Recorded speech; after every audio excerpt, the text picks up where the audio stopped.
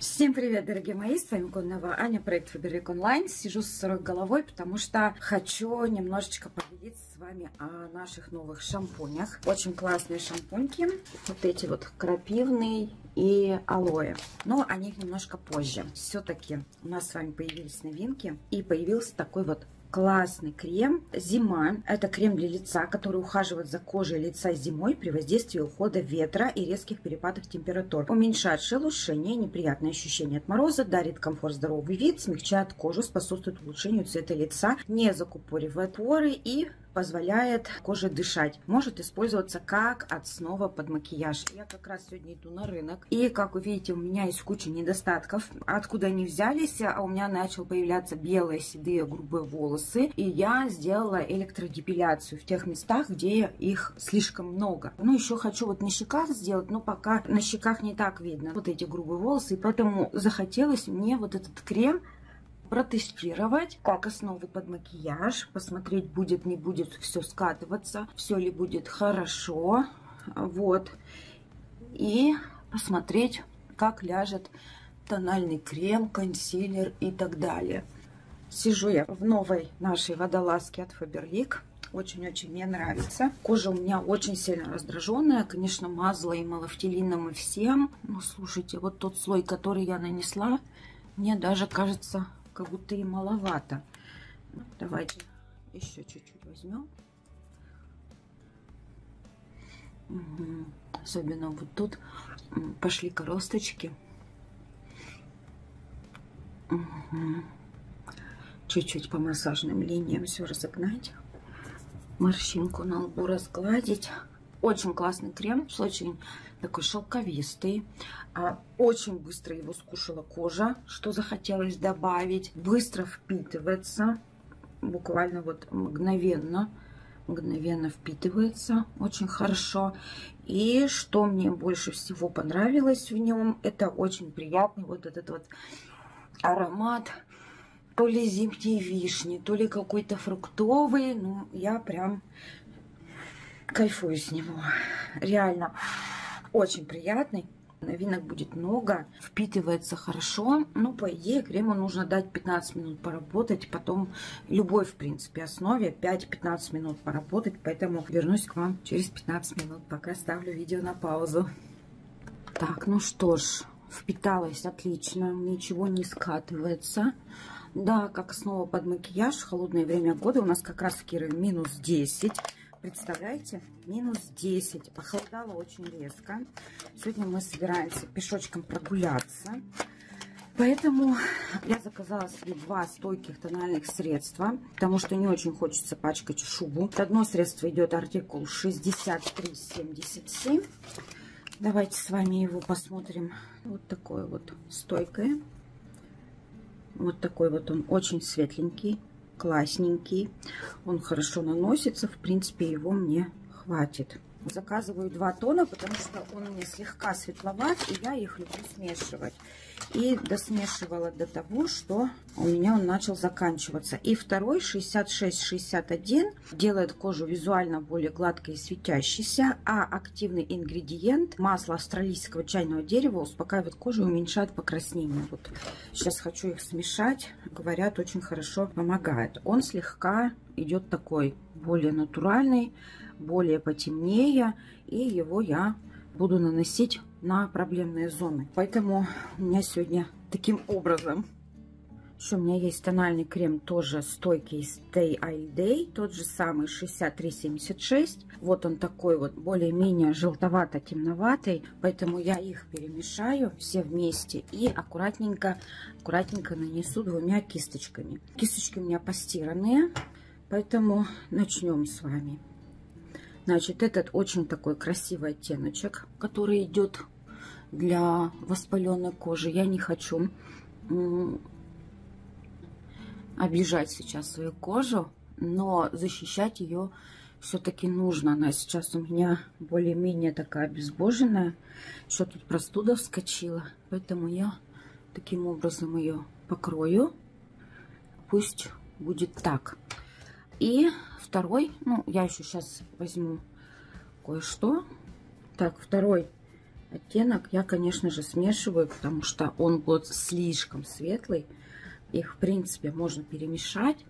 Второй оттенок я буду наносить сейчас подзагну. Мне очень нравится эффект, потому что он не морает сотовый телефон, что очень важно.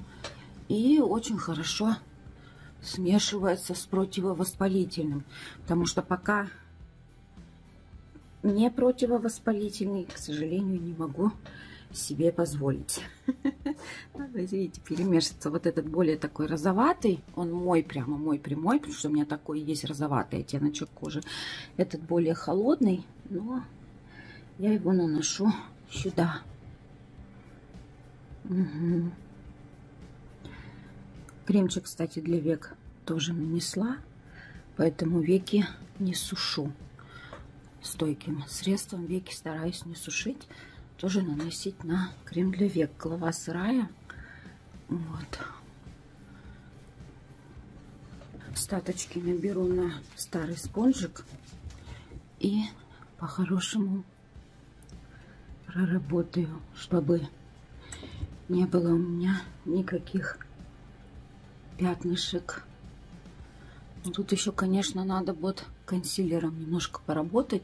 Но, как вы видите, вот этот вот противовоспалительный, он, в принципе, хорошо работает. А за счет того, что я промакиваю сухим спонжем, в принципе, излишечки уходят в спонж, и макияж получается стойкий и натуральный. Ну и заканчивать буду средствами из прошлого обзора. Все-таки хочется нормально выглядеть, поэтому вот такой вот классный консилер, суперский, очень стойкий. Цвет тоже мой-мой прямой, прям великолепный. Он, кстати, замерзает и перестает блестеть, абсолютно матовый. Называется First Class, у него очень крутая стойкость и очень крутая плотность. То есть это очень плотный. Артикул 63-43. Вот, приведу себя в порядок. Видите, чересчур он, конечно, крутой. Его может быть на коросточках видно. Поэтому все равно пудрой буду фиксировать. Не, ну, убралась очень даже идеально. Боюсь, как бы у меня, конечно, шрамов не осталось. Но потом вам расскажу. Сделала одну процедуру. Мне сказали, надо делать много раз. И на канале Телеграм то же самое мне девочки написали. Ну, еще тут чуть-чуть. Синички его подубрать немножко. На канале написали девочки, что делают долго. Ну, посмотрим. Посмотрим, посмотрим. Так, ну и моя любимая пудра 6349. Я ее просто наношу по центру и на глаза. И тихонечко закреплю вот это свое чудо. Ну, как вы видите, перекрывает отлично, но какие-то прям сильные, мощные покраснения, это, конечно, First Class с его плотностью. First Class почему-то он не подчеркивает шелушение, но может забиться в поры. Поэтому вот этот консилер, он, конечно, не для пор. Он именно идет вот для этой зоны. Тут можно нанести и сюда вот нанести. И то, если нет морщинок. Вот мои 39, я с утра просыпаюсь, уже начали появляться вот тут вот морщинки, поэтому я сначала делаю патчи Айсеул розовенькие или Океанум, ну Айсеул мне кажется даже лучше. И когда у меня уже все разглаживается, я тогда только наношу. Вот таким образом. Думаю, все равно поеду, надо протестировать, а то все на руке, на руке, на лице, думаю, будет более наглядно. Далее обещала показать пудру. Ну, тут палетка, вообще полностью вся палетка.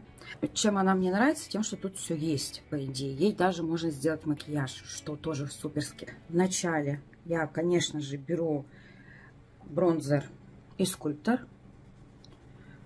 Мне макияж суперский, там какой-то тяжелый, не нужен. Поэтому я делаю легонечко. Для моей светлой кожи он нормальный. Для брюнеток он может рыжить. Подбородочек слегка тоже уменьшаю. Но вот эти вот не стараюсь не задевать. Как бы то, что мне не нужно, стараюсь не задевать. А вот слегка, слегка, слегка. Ну и обязательно румяна. Румяна тут тоже очень классный такой цвет, оттеночек. Прям шикарный. Мне очень нравятся вот эти нежные румяна. Я их наношу не на яблочке, а чуть-чуть выше. И наношу слегка на глаз.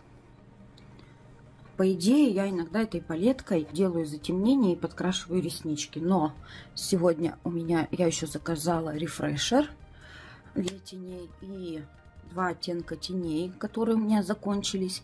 Поэтому будем с вами смотреть. Ну, по идее, вот эта палетка для меня, вот если она у меня есть, я могу полностью ей сделать такой, знаете, легкий суперский макияж, который мне очень нравится и больше его не нужно. Так, заказала я себе два таких вот оттеночка. Вот они поштучные идут. Это у нас идут монотени 5834, а это идут монотени 5833. Заказала двое. Почему? Во-первых, у меня светлые оттенки быстрее уходят. Во-вторых, у меня вот есть такие бесхозные тени, двое штук, которые не вошли в рефил. Палетка рефил для монотеней с аппликатором. Такая вот она классная. И эти тени у меня не входят. А цвета очень красивые. Вот это у нас идет Pro Satin 5846. Такие вот суперские тени. Давайте я вам сделаю сводч потому что я сейчас вставлю и забуду артикул. Вот я прям их очень люблю. Очень красивый цвет. Видите, такой блестящий. Так, так вот поблескивает. Шикарно. Вот это значит у нас 58-46. И вот такие вот обычные угольные черные тени с блесточками 58-53. Хорошая у них пигментация, все у них хорошо. Хорошая растушевочка идет. И смотрятся они шикарно на веках. Вот этих блесток, их, к сожалению, так вот особо не видно. Я сегодня, конечно, этими тенями не буду краситься. И, значит, вот эта вот палетка Refill с артикулом 5844. Мы ее открываем. Тут есть обычная такая вот губка. И в основном тут вот вы открываете вставляете тени, которые вам нужно как раз таки таким вот образом вводите. Вы можете заказать любой, абсолютно любой оттенок теней, 4 штучки, и поместить их в палетку. Закрепить таким образом. Угу. Еще осталось последний вставить. У меня просто две таких есть. И вот третья, как бы получается, третью у меня не было чтобы собрать все до единого оттенки, которые мне нужны. И мне было неудобно. А сейчас я могу собрать все. Таким вот образом собрала. Мне удобно. Видите, как классно. Все, артикулы я уже теперь не знаю. Я все перепутала. Значит, вставляю. Так, секунду. Не с руки. Я не левша, я правша. Вставляю таким вот образом до щелчка и у меня готова целая палетка. Очень красивые оттеночки. Этот светленький, этот более-менее с желтинкой с такой. Этот, наоборот, блестящий с серинкой, а этот совсем черный. Вот такая вот палета получается. И она действительно стоящая. Видно меня, да? Да, палетка действительно стоящая собралась. И я буду и делать с ней макияж, получается. Ну, макияж бровей тут, кстати, не сделаешь. Вот что неудобно, макияж бровей не сделаешь. Тени блестящие. Конечно, будет не очень красиво. А это я уже выкину, и у меня все будет в порядке. Это я, наверное, месяца три или четыре назад пыталась прибраться и до сих пор не могу прибраться. Что я делаю? Смотрите, кисть для растушевки теней 910-134. Я еще кисточки себе заказала. Вот начинаю их распаковывать. 910-134. Вот этим я практически не пользуюсь. Я беру сначала светлый оттеночек. И сначала делаю как бы небольшую основу под макияж. Получается таким образом. Это прям, видите, мой прямой оттенок.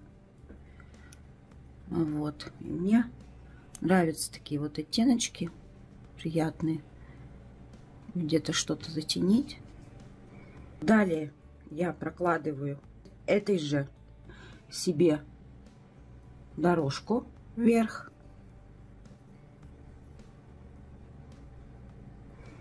Что очень удобно. Такие вот рыжие теплые оттенки. Видите, как классно смотрится. Водолазка Фаберлик, не хочу ее снимать. У меня столько вещей, а я все хожу в этой водолазке яркая, легкая, мягкая, суперская. Причем вот этот оттенок, он смотрится вживую спокойнее. И вот я на него вживую смотрю, он спокойнее. А на веках он расцветает и становится таким ярким рыжиком. А что мне очень нравится. Так, остаточки теней сюда. И когда мы с вами несколько оттенков создаем вот эту вот палитру теней, то взгляд получается довольно таки приятный и выразительный. Тут у меня вечно подводки мои мешают. Потом я уже беру вот этот серый оттеночек. Он более-менее блестящий. Мне кажется, что это будет очень красиво сочетаться. И накладываю уже. И все, в принципе, дневной макияж готов. Притаптывающими движениями кисточкой. Вы видите, что я не машу ей туда-сюда, потому что Тени могут осыпаться, а я уже сделала макияж. Поэтому я набираю по-хорошему, прямо вот так вот набираю. Стараюсь не отряхивать кисточку. И начинаю накладывать, чтобы у меня не осыпалось. Потому что любые тени, они в принципе осыпаются. И чтобы они не осыпались, нужно просто кисточкой не махать. Как у меня девушка знакомая говорит, я красилась, как ты красишься, и у меня, говорит, все под веком. Я говорю, слушай, как так? И потом, ну, она в Кирове живет, она ко мне пришла в гости. Я говорю, ну-ка, давай, говорю, с тобой пробовать, что ты там делаешь не так. Нашли этот тон, нашли эту палетку, нашли тон, и я ее накрасила. Она говорит, как так, почему ничего под глазами нет?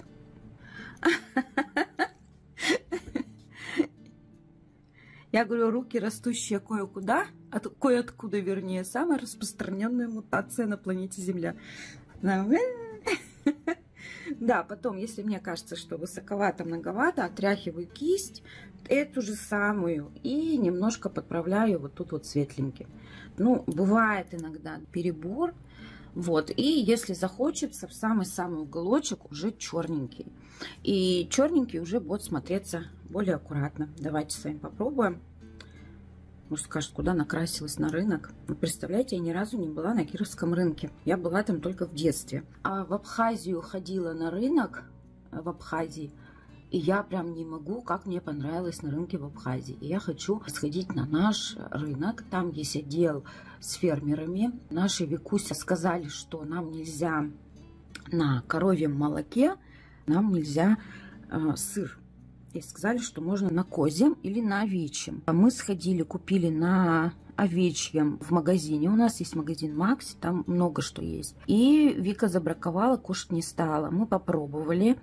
И нам до такой степени не понравилось. Вообще, я прям выплюнула этот овечий сыр. Понятно, как ребенок будет есть, если даже взрослый выплюнул. Согласна со мной? В итоге мы решили съездить сегодня на рынок, потому что наша Вика так любит сыр, а можно только козий или овечий. А найти, к сожалению, фермеров вот так вот быстро. Нам неделю назад этот протокол дали. К сожалению, быстро найти мы не смогли вот фермеров, чтобы они взяли нам и предоставили сыр.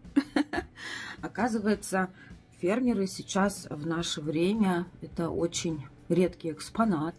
очень ценные экспонаты, и их еще не найти. Вот мы быстро нашли куриное мясо у фермеров, ну, тоже как вот мы узнаем, как они кормили там и так далее. В общем, сложный вообще вопрос. Вот, сложный-сложный вопрос, который меня сейчас мучает на данный момент. Вика вытрепается, топает, кричит, пищит, требует обычной еды. Ей запретили все крупы, даже гречневую, все каши, даже овсяную. Такой вот строгий протокол питания. Ну, зато разрешили много фруктов, даже бананы разрешили. Хотя до этого бананы запрещали. Ну, там у них разные такие протоколы питания. Вот мы сейчас поедем на рынок в надежде что-то найти. Какой-то фермерский продукт найти. Божечки ты мой, как устала от этого. Вот, но это только начало. Ну, нам 9 лет. Развитие встало опять-таки не можем найти, что к чему. Водили Вику к кральному терапевту. Он сказал, что года бы на три пораньше, что он может от нас отказаться. Ну вот, надеемся, что вдруг он что-то сможет сделать. Угу. Будем надеяться. Надежда умирает последний. Я поняла, что мне не хватает. Мне не хватает помады. А макияж сделала, ну, как будто в ночной клуб пошла. Ой, не могу. Не люблю яркие. Как будто на сцену, как будто на сцену за чеком пошла. Так, ну, осталось тушь с помадой. У меня еще тут остатки нарощенных ресниц, поэтому я тушью пока мало пользуюсь ну, чуть-чуть наношу. Тушь, как обычно, 58-55 на данный момент. Потому что что-то она какая-то, знаете, нескончаемая эта тушь. Я уже замучилась. У меня уже три новинки от компании Faberlic. Надо попробовать покраситься. А я еще все эту искрасить не могу. Она не заканчивается. Вот что значит накладные ресницы. Но я приняла решение вообще больше ресницы не наращивать. В Фаберлик начали продаваться ресницы. И на мероприятие, в принципе, я научилась реснички клеить. И все у меня будет хорошо. Ну вот, смотрите. Разница в ресницах. Я думаю, заметно. Вообще классная тушь. Обожаю ее. Потому что быстро, легко. И она не склеивает ресницы. Видите, ровненько, в рядочек. Если где-то что-то склеила, можно расклеить. Шикарно. Вот так вот на камеру, и то уже видно разницу. Как бы, прямо вот. Мне вот знаете, что повезло? У меня реально густые ресницы. Они у меня пусть короткие, но густые.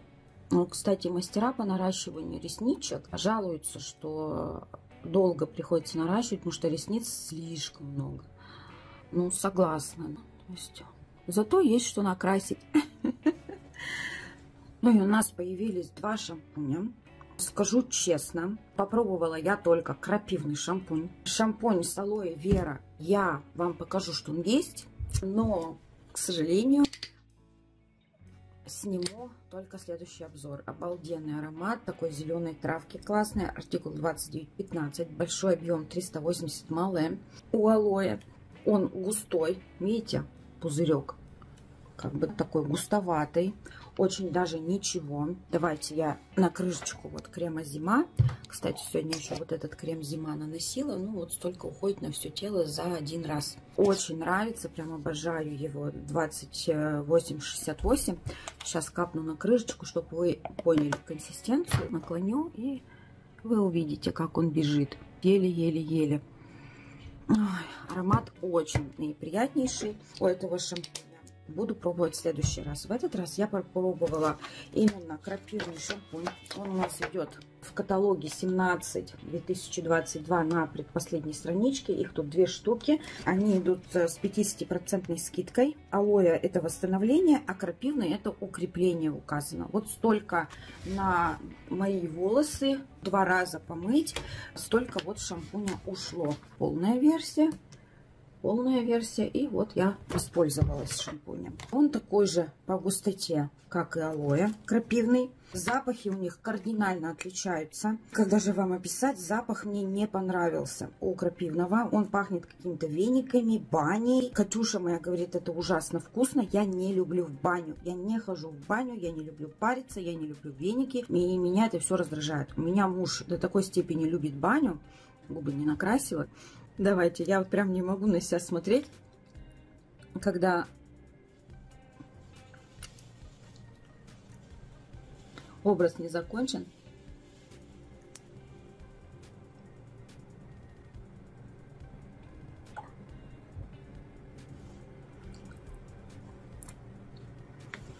Так, помаду скажу 40 787. И, конечно же, вот этот запах,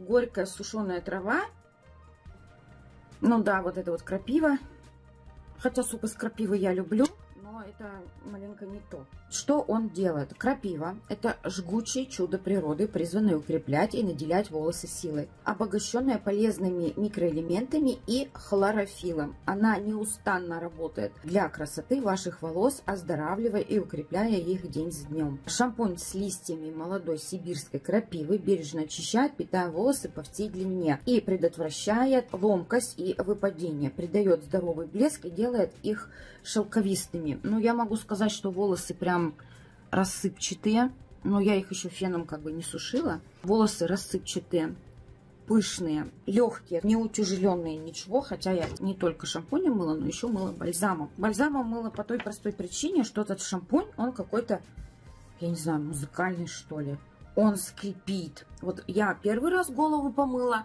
волосы так начали поскрипывать. Я вот так провожу, и они начали поскрипывать. Я реально пожалела, что я свою камеру в ванну не взяла. Когда я начала их мыть второй раз и смывать, они просто стали музыкальными. Они скрипели, но вот вы знаете, есть шампунь Бесси, где волосы аж скрипят после них. Но они как гнездо не прочесываются, не расчесываются. Нужно сделать несколько масок, нанести несколько там несмываемых бальзамов уходов. Все это дело утяжеляет, чтобы их расчесать. Тут такого нет. Это прям шикарные волосы, ухоженные, приятные, хорошенькие волосы. Поэтому крапивный шампунь по действию, по мере очищения, по всему я похвалю. Запах действительно, он сносный. Я не люблю такие запахи, но он мне не противен, он меня не раздражает. Я им буду нормально мыться, хотя не очень довольна запахом алоэ, мне очень понравился. Он вкусненький такой зелененький аромат. Что еще хочется сказать? Конечно же, сразу захотелось после этого шампуня нанести бальзам. Я нанесла бальзам серии Blond Icon. Мне понравилось. Таким шампунем я мою голову, вот как раз его заказала, артикул 2710, он тоже входит в обзор. Таким шампунем я мою голову примерно раз в неделю. Тоже два раза замачиваю на 3 минуты. Это шампунь для нейтрализации желтизны. После него я уже помыла голову. Да, то есть вот классно, да.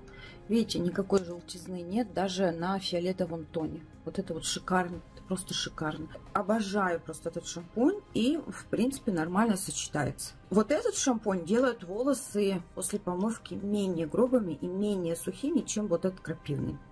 Таким образом. Но я не скажу, что крапивный делает э, волосы ломкими тоже. И я заказала пару штучек тоже уж пусть входит это в этот обзор, пару штучек эликсира, который укрепляет и восстанавливает секущиеся волосы, запаивая их на кончиках. Поэтому я сегодня поеду 30 мл, поэтому нанесу с удовольствием вот этот вот 1897.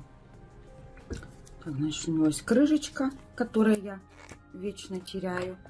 Он абсолютно новенький, поэтому будем ждать. Я примерно вот столько наношу. Распределяю по ручкам. Вот он такой. Он пахнет сладенько. Очень вкусненько. Вообще вся линейка, вот эта вот Everstrong, идет восстанавливающая. Она мне очень сильно нравится. И вот так вот тихонечко начинаю наносить. Распределять в глубину стараюсь. На обрубочки стараюсь нанести. И он как раз-таки убирает вот эту вот пушистость, голова срая. Я немножечко перед обзором вот это место вот подсушила, чтобы не было проблем.